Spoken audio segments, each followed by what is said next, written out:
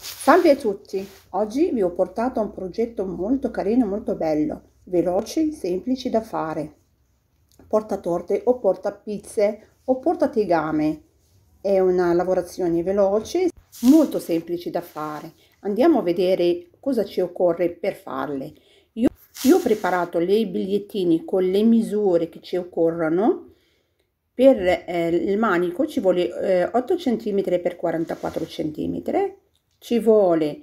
La stoffa eh, colorata sempre 79 x 44 il mollettone 79 x 44 e eh, un metro di nastro per decorazione di cotone ovviamente per stirarlo. Ci vuole forbici un bastoncino per svoltare le angole le spille e la federa nello stesso eh, comunque la federa ehm, il mollettone e il, il pezzo di stoffa colorato hanno la stessa misura 79 x 44 la prima cosa che facciamo andiamo a eh, cucire le manici e mh, mm, andiamo a spellarle passiamo la macchina e svoltiamole. Qua facciamo una eh, cucitura a lungo vedete come facile e usiamo questo bastoncino per eh, svoltarle qua vi faccio vedere un trucchetto che faccio. Io lo cucio dalla parte superiore e allungo e poi mi viene facile da svoltarle mettendo il bastoncino nella parte cucita e poi le svolto. È molto facile è meglio vederle che a dirlo. Vado a ricucire eh, sopra eh, i manici così lo do un sostegno e poi andiamo a eh, fissarle nella eh, nostra portatorte ed è un lavoro molto facile. Qua ho 44 quindi faccio la metà che sono 22 eh, e eh, marchio con uno spillino il centro della nostra lavorazione. Poi prendo 6 centimetri di un lato e 6 dall'altro lato vedete e poi li attacco i manici. Così mi viene il lavoro facile. Li attacco tutti e due. Vedete?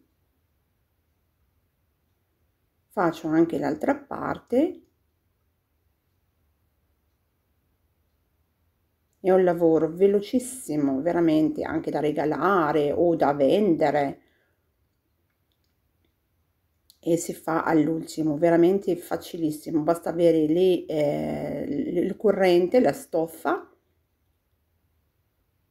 e si fa velocemente.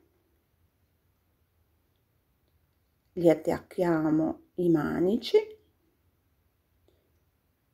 E adesso prendiamo la federa e andiamo a coprire il tutto. Lo fissiamo con delle spille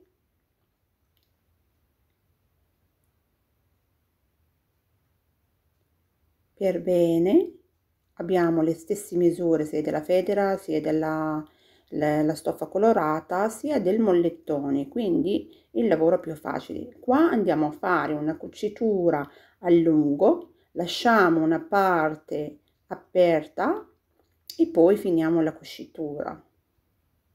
Andiamo sotto macchina gli daremo un colpo di, eh, di macchina e il gioco è fatto. Siamo attenti alle spiglie magari li tiriamo via. Quando cuciamo. Ecco togliamoli tutti e andiamo a pulire tirar via tutto l'eccesso della stoffa in più. Così non, quando lo svoltiamo non, non fa ingombro. Togliamo tutto e, e lo svoltiamo anche gli angoli.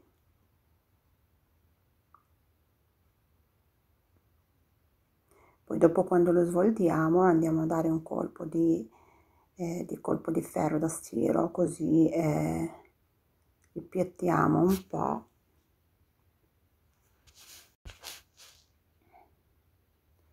magari quando lo svoltiamo ci aiutiamo con questo bastoncino da tirare fuori tutti gli angoli e il gioco è fatto. Vedete che eccoci qua tutti gli angoli fuori. Adesso gli diamo un colpo col ferro da stiro. E andiamo ancora eh, sotto macchina per chiudere la parte che abbiamo lasciato aperta per svoltarlo e poi attacchiamo anche ehm, il nostro nastro di pizzo e sarebbe meglio di cotone così quando lo stiriamo ehm, non si rovina. E questo è il nostro portatorte, portategame o portapizza, è tutto di cotone, lavabile in lavatrice, stirabile, più di così, è veramente carino, molto bello. E veramente ci vanno molto questi qua, piacciono a tutti, io qua ho 18 cm, così lascio un po' di apertura, così per daremo Mm, un po' di eh, spazio.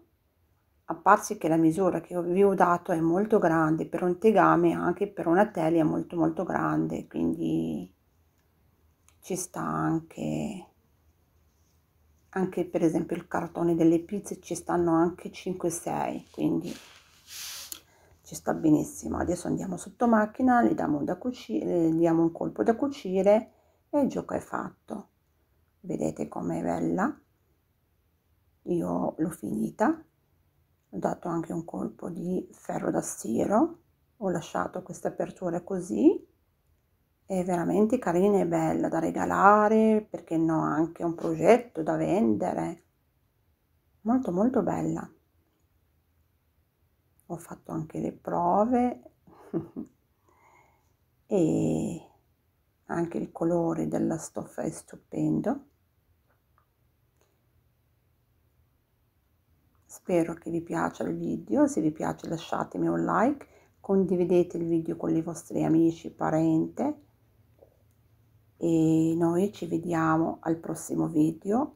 Vi lascio con eh, le foto che ho fatto e anche con delle altre che ho fatto.